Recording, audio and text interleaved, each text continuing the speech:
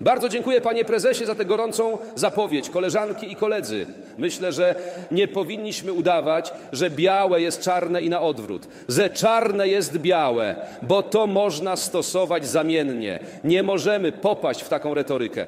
Dlatego trzeba jednoznacznie i stanowczo powiedzieć jedno. Pan prezes, pan prezes Jarosław Kaczyński jest najlepszym, co nas mogło spotkać. I tu raz jeszcze dziękuję, panie prezesie. To wybitny strateg i nie pozostaje mi nic innego, jak podzielić się z państwem moją podstawową refleksją. Lotnisko w Radomiu to doskonały przykład tego, co prezes nazwał niemiecko-rosyjską macką. Ja od siebie dodałbym, że nie tylko sterowaną żydowską ręką, ale też za chińskie pieniądze. Tak, proszę Państwa, Polska nie jest wyspą, która dryfuje po niebie pełnym bitej śmietany, jak chciałby poseł Biedroń czy Śmiszek.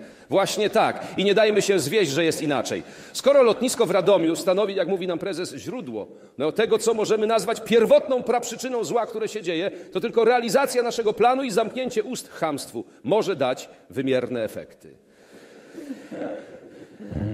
I skończy się robienie ze świętego Polaka, z papieża, naszego największego rodaka.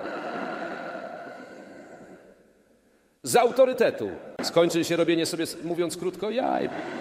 Pewna powaga jednak obowiązuje. Ale wracając do meritum.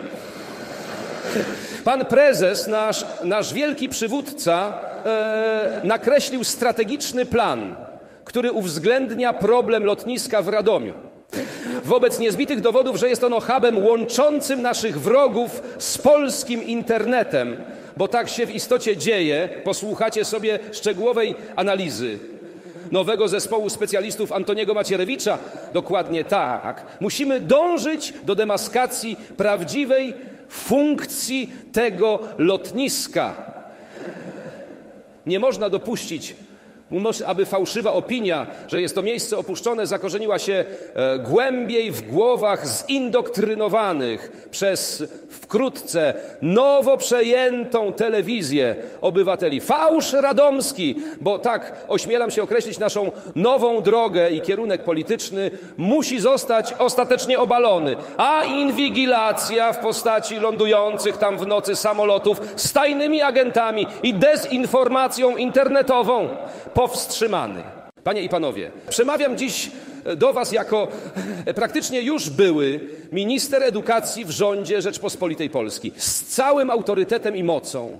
Nie mam żadnych wątpliwości co do słusznego kierunku rozwoju naszej partii, który zapowiedział prezes Jarosław Kaczyński.